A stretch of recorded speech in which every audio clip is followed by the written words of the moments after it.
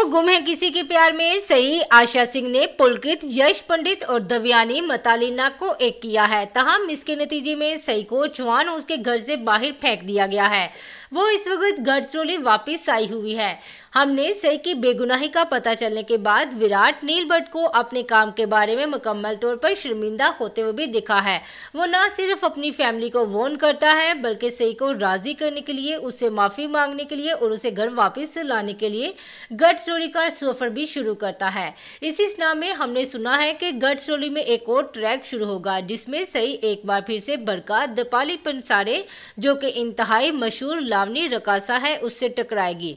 इससे कबल उनका तारफ होली के दौरान किया गया था, जहाँ उन्होंने चौहान हाउस में होली के दौरान अपनी परफॉर्मेंस दी थी। इस दासदान में ये भी दिखाया गया है कि बड़का गढ़चौली के लिए रवाना हो चुकी है। अब सही का गढ़चौली में बड़का से मुलाकात एक बार फिर से सही के लिए एक अहम मोड़ साबित होगी। जब सही अपने दिल की बात बड़का से कहेगी तो दोनों जज्बाती तौर पर एक दूसरे के साथ जुड़ जाएँगी। सही अपने प्यार को एक्सेप्ट करने के लिए तैयार नहीं है बट बरखा सही को रियलाइज़ कराएगी कि होली के दौरान क्या हुआ था। विराट उससे बे इंतहा मोहब्बत करता है। सही को भी सच का एहसास होगा। सो फाइनली सही अपने प्यार को एक्सेप्ट करेगी बट उस वक्त विराट गढ़चोली से दोबारा से अपने घर रवाना हो चुका होगा। अब देखते हैं कि बरका एक बार फिर से सही और विराट को एक साथ करने में कामयाब होती है। कमेंट सेक्शन में ज़रूर बताइएगा। तब तक के लिए और भी इंटरेस्टिंग अपडेट जानने के लिए like share follow and subscribe कीजिए एक्सक्लूसिव फ्लेवर्स